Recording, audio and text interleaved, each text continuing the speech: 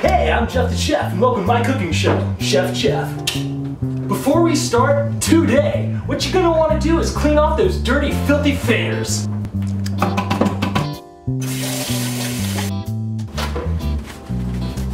So here, as you can see, we have uh, our cutting board, we have a knife, and we have an onion chopped previously from our previous episode in YouTube, uh, episode 9, How to Cook a Turkey Burger. Have a uh, fresh picked tomato from our home garden, and uh, we have some buns. We've got your buns on. so what we're going to do is uh, basically teach you and show you how to properly chop this onion. So what you're going to want to do is take this onion and put it over to the side, alright? You're going to take this and you're going to place it down upon this cutting board. Now as you get this chop going, what you're going to do is just fine chops and you're going to want to against you.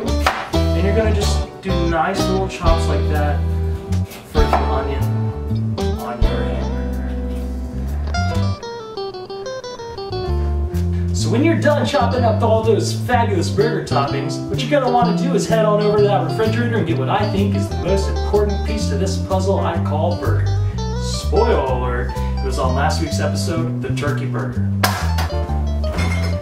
Ladies and gents, that special surprise topping is the pickle.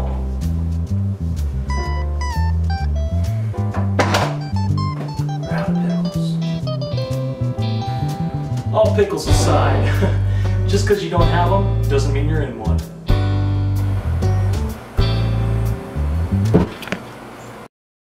The grill is ready! And guys, let's take a little break because we got a message from our sponsors.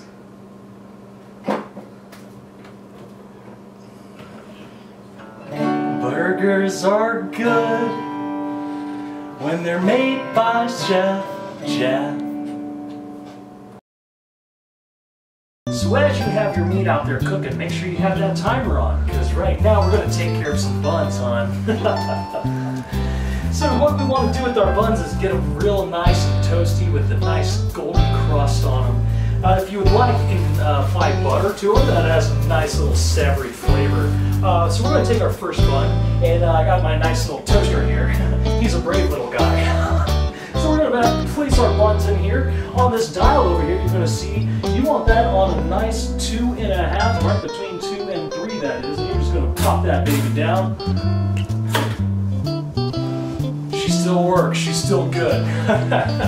so now we're going to come over here and uh, we're going to tie up our buns again you don't, you don't want your buns to get all nice and uh, hard now. This is how you keep them soft and you preserve them. So remember, a big step in this is pres preservation of the bun. Last but not least, we have the meat. Ladies and gents, we have some good news and some bad news. The bad news is that we don't have any meat. The good news is that we found the pickles. We're in one.